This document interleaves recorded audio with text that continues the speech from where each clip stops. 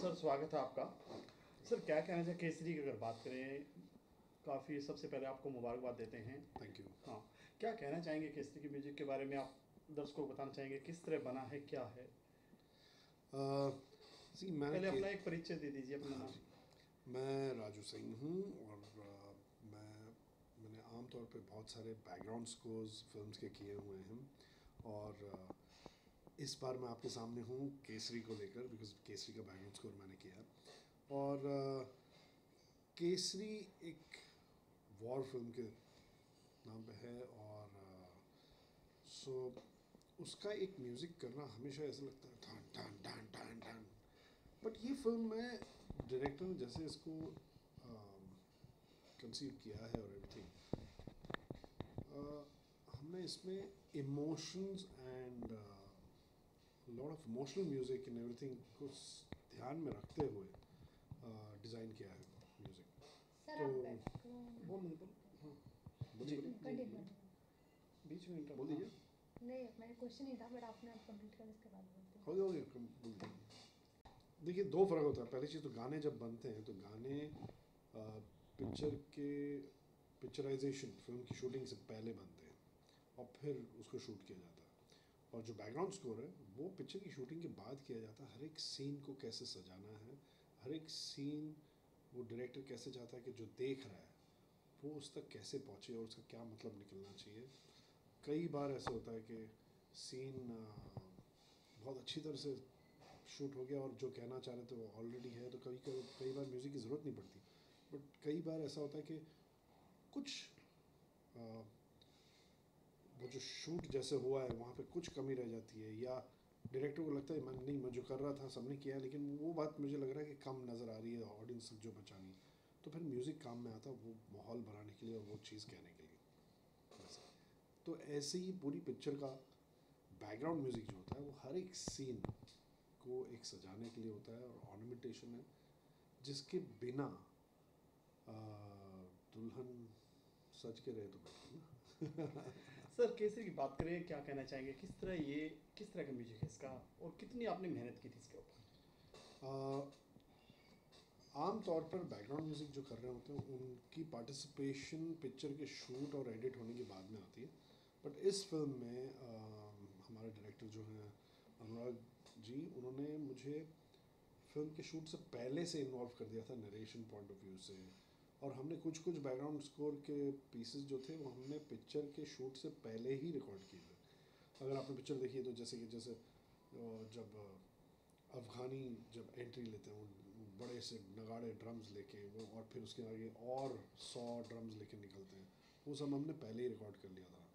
और फिर उसके बाद में सेकेंड टाइम जब अफगानी आते तो वो नगाड़े लेके और फिर अक्षय कुमार जी अपना ढोल लेके आते हैं तो वो भी पहले रिकॉर्ड किया था। देन देर आर सीक्वेंसेज जो लास्ट में जो पौधा उगता है uh, जो अक्षय कुमार जी पूरी पिक्चर में दिखाया गया तीन चार बार दिखाया गया वो प्लांट कर रहे हैं। तो लास्ट में तो वो सीक्वेंस का हमने म्यूज़िक पहले किया था। Uh, वैसे ही जो मैं अभी अभी थोड़ी देर पहले में जो गा रहा था वो जो पंजाबी टप्पे है ना बहुत पुराने। तो वो हमने अगर आपने पिक्चर देखी तो एक आदमी सारंगी पे बजाते ही रहता है। तारा ना ना ना तो जब उसके बाद जाकर बोलता है यार तू ये बोरिंग चीज़ बना बजानी बंद कर। और फिर सेम चीज़ अनुराग जी ने वर्ड्स लिख के हमने वही सोल्जर के ऊपर जब वो शूट करने बैठा है फाइट करना तो उस पर वर्ड्स के साथ यूज़ किया था। तो अम, मेरे कहने का मतलब है कि हम अ, पूरी पिक्चर को पहले से साथ में मिलके म्यूज़िकली सोच रहे हैं कि कैसे करना है। और मेहनत तो बहुत लगी है। अ, क्योंकि काम बहुत था ये फ़िल्म में। सर काफ़ी बड़ा बिज़नेस किया है इस फ़िल्म ने और सबसे बड़ी बात है सिख कम्युनिटी पे फ़िल्म है ये। कम्युनिटी कैसे लेकिन है तो सबकी मूवी बट सिख के ऊपर है। हाँ और आप भी एक सिख हैं तो कितना प्राउड फील करते हैं इस चीज़ को यार मैं born and brought up Bombay में हूँ हम्म। पैदा यहाँ हूँ और वैसे। तो कहीं ना कहीं मैं मैं- मैंने भी पगड़ी रखी हुई थी I think around eighty four में जाके मैंने बाल कट रहे थे और बाद में कम होने लगे तो मैंने पूरे निकाल दिए तो मुझे कोई पहचान नहीं पाता तो मैं तो मैं तो हमेशा अपने तो सबको बोलता हूँ, मैं I am sick in disguise but वाकई में सच्ची बात बताऊँ तो मैंने जब पहली बार पिक्चर देखा तो मुझे ऐसा लगा, यार पगड़ी रखनी चाहिए एक पहचान but then as you get into life all that practicality में फिर जो चल रहा है, फिर वैसे हो जाता है। बट मैंने एक चीज़ देखी, जब पिक्चर थिएटर में सब के साथ देखी तो जब लास्ट में जो बच्चा चिल्लाता है बोले सोने हाथ मैंने देखा कि पूरा क्राउड ऑडियंस में वो सिख हो या नहीं वो सब सत श्रीकाल बोल रहे थे। तो इसका मतलब एक वो जागृत होता है to feel that no picture में। तो दैट्स समथिंग राजू जी पंजाबियों ने फटे चक्के हैं। पूरे बॉलीवुड की बात करें कोई ऐसा नहीं होगा जैसा कनाडा से लेके दिल्ली कहाँ सरदार नहीं है। और बॉलीवुड के तो पूरा चप्पे चप्पे में, फटे चक दे, चाहे सुभाष गई हो या यश चोपड़ा हो क्या कहना चाहिए सब पंजाब क्या कहने की कुछ ज़रूरत ही नहीं है? वो तो फील हो जाता है और वो हर जगह फैल जाता है, जो भी आदमी पंजाब, पंजाबी है। वो, आप पंजाब का म्यूज़िक ले लो, वो दुनिया के कोई भी म्यूज़िक के साथ में मिक्स हो जाता है और अपनी जगह लेके रखता है। वैसे ही मेरे ख्याल से पंजाबी कहीं भी अपने आप को किसी से कम समझता नहीं और वो किसी की नज़र आ ही है। जाता है। आप आप भले ही राइट्स देख लो कुछ भी होगा वो वो अपने आप खड़े अपने पैरों पर खड़े हो जाते हैं। सर म्यूज़िक म्यूज़िक से जुड़े हैं परिवार से जुड़े हैं म्यूज़िक के फादर भी म्यूज़िक से थे। तो माहौल ही ऐसा था कि राजू सिंगर नहीं होते तो क्या होते? क्योंकि ऐसा नहीं है कि सिंगर का बेटा सिंगर ही बनेगा। क्या आप बनना चाहते थे? नहीं बट मेरे डैडी म्यूजिशियन थे तो मैंने तो कभी सोचा ही नहीं और कुछ करना। तो मैं उनको स्टूडियो में देखता था अ, क्योंकि उन्होंने एस डी बर्मन जी के साथ बजाया आर डी बर्मन के साथ में लक्ष्मीकांत प्यारलाल शंकर जी के साथ। तो मेरे ख्याल से मेरे मुझे मुझे तो इमेज ही दिख गया था मुझे तो करना ही है। अब वो पिताजी कर रहे हैं इसलिए या नहीं है बट कभी कभी होता है कि बस I want to do this you know तो इसी में ऐसा होता था कि जब मैं देखता था लक्ष्मीकांत प्यारलाल में, पापा भी बजा रहे वहाँ पे और सब पूरा तो मेरे मन में बैठ गया था, यार, करना यही। और फिर मैं घर पे आता था, मैं गिटार लेके ना ऐसे मेरे कांच के सामने बैठ जाता था, मिरर के सामने, और मैं बजा देता कुछ, और फिर खुद प्यारे भाई भी बन जाता था, बोलता था, वाह वाह वाह वाह वाह। और फिर मैं थैंक यू थैंक यू तो एक कभी कुछ और करने का नहीं सोचा। और शायद ऊपर वाले देने के फोकस मिल जाता है करना क्या है? यू नो नहीं तो हम लोग अपने एक सर्टन एज में हम सोच सोच रहे थे यार लाइफ में करना क्या है क्या मेरे केस में वो हुआ ही नहीं। शुरू से ही यही करना है। सर आपने एज की बात की। हाँ आपने एक ऐसी फ़िल्म का म्यूज़िक दिया है जिसकी बेटी भी हाल ही में लॉन्च हुई है और वो काफ़ी अच्छा म्यूज़िक रहा था। शायद उसमें आपकी शुरुआत थी।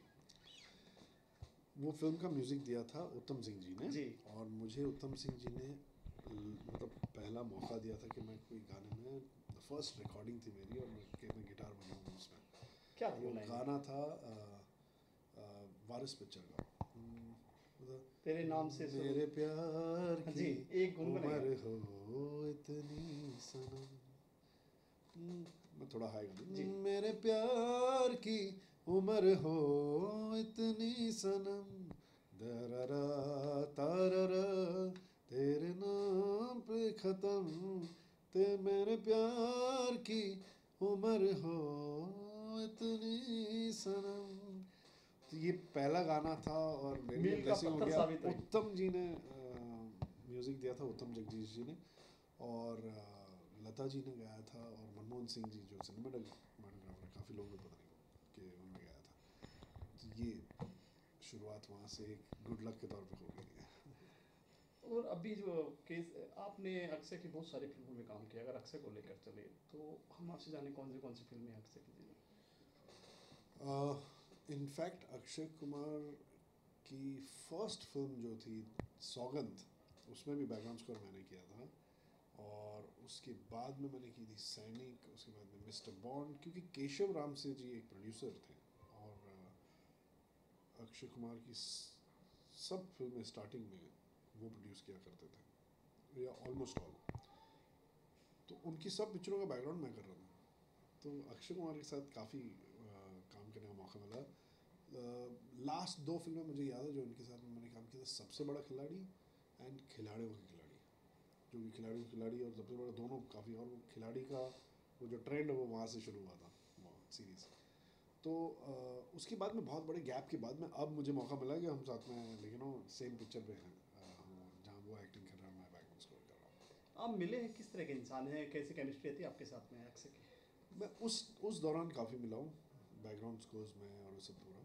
बट आई थिंक अभी बहुत लंबा अरसा हो गया और ये फ़िल्म के टाइम पे भी मिलना हुआ ही नहीं क्योंकि वो शूट पे होते थे। मेरा मेरा तालमेल डायरेक्टर के साथ में था और डायरेक्टर का उनके साथ में और फिर उनकी शूटिंग करने में मैं फिर वापस डायरेक्टर के साथ वैसे तो ये हुआ नहीं तो probably my best wishes and he is done a fantastic job यार वो तो हमारे सामने दिख रहा है। पाजी समय के साथ सब चीज़ बदलती जाती है। बात करें समय के अनुसार म्यूज़िक बदलता है तो क्या लगता है आपको? म्यूज़िक आता है चला जाता है कि बहुत सारी चीज़ें हैं जैसे पुराना 90 का मेलोडी का दोबारा आ गया है। आपकी नज़र में क्या है? क्या कहना चाहेंगे? देखिए मेरे हिसाब से melody is the only thing जो याद रहते हैं। जैसे मैं आपको बता दूँ हम लोग कभी भी बोलते ना, बहुत लोगों के एक एक स्टेटमेंट होते हैं कि जैसे कैसे हम लोग अब्दुल कलाम जी का कुछ लिखा हुआ पढ़ते हैं तो इंस्पिरेशन मिलता है। तो ऐसी कई बातें होती हैं जो हमेशा याद रहती हैं। हर चीज़ बोली हुई नहीं याद रहती, है ना? तो मेलोडी एक ऐसी चीज़ है जो मेलोडी ही है चीज़ें जो याद रहती हैं और बाकी सब बाकी बातें हैं। अच्छा सर जाते जाते कोई एक अच्छा सा गाना दर्शकों के सामने डेलीकेट करेंगे